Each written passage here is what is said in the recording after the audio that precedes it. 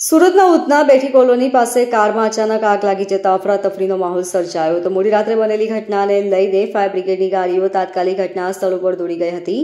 Fire બ્રિગેડે પાણીનો મારો ચલાવી આગ પર કાબુ મેળવી લીધો હતો. ફાયર વિભાગ પાસેથી મળતી માહિતી પ્રમાણે ગતરોજ રાત્રે ઉધના વિસ્તારમાં કારમાં આગ લાગી હોવાનો કોલ મળ્યો હતો, જેથી ફાયર વિભાગનો કાફલો ઘટના સ્થળે દોડી ગયો હતો.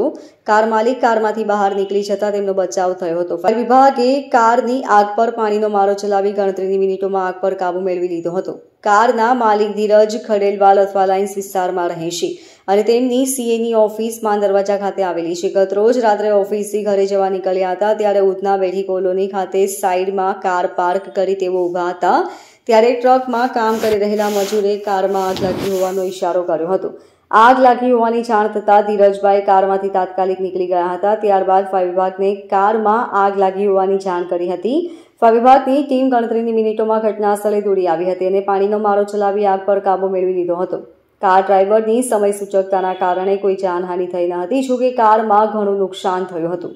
Bureau report, L K star news, Surat.